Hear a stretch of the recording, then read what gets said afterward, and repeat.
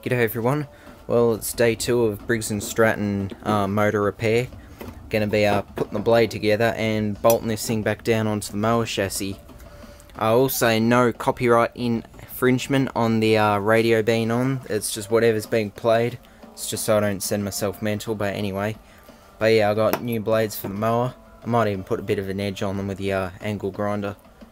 Since they're uh, it doesn't really matter too much. It's more just the uh, the slashing, hacking action from it. That's what cuts grass. But I've cleaned that up as good as I can, and so that's all ready to uh, be put back together. Okay, that's the blade all back together and ready to go on. So uh, made sure I've done the nuts up tightly, otherwise this will just swing back when it um, hits any grass.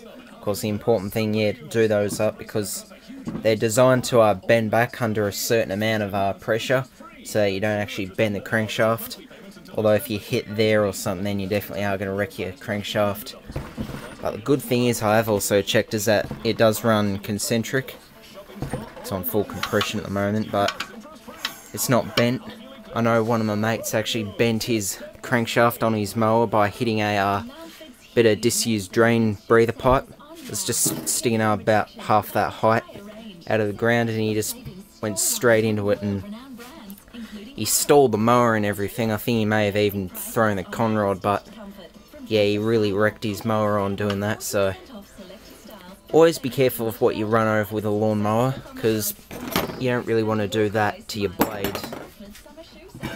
But anyway, that's all ready to go back onto the, uh, the chassis and give it a test run. Okay, we're all back together again, ready for a test run. I think I may have stated before that this is a, I believe it's a retrofit to a Victor Power Torque, because it's got all the bolt holes and things in it for a, uh, a Power Torque engine, even though it's got a Briggs on it. But anyway, enough about that. Let's see if it lives or not.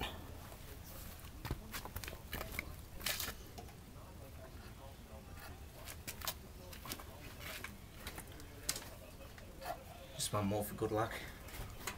Yep, we're on. Thank you.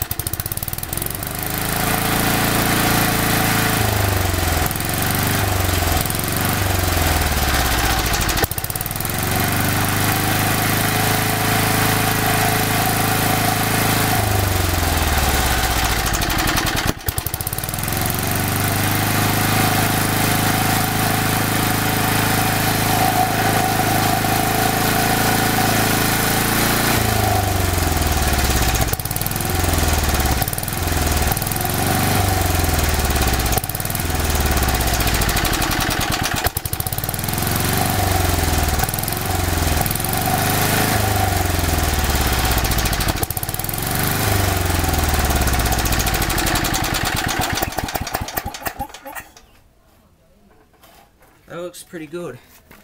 I'm gonna have to fix that kill switch though, because that's uh, definitely not too happy. A bit smoky on startup, but other than that, it's working nicely. It's a nice good score. Yeah, the uh, back wheels are only just sitting on at the moment. There's supposed to be two brackets that they clamp into, but I've just got got them resting under the uh, the deck. Uh, yeah, that came up good. Thanks for watching.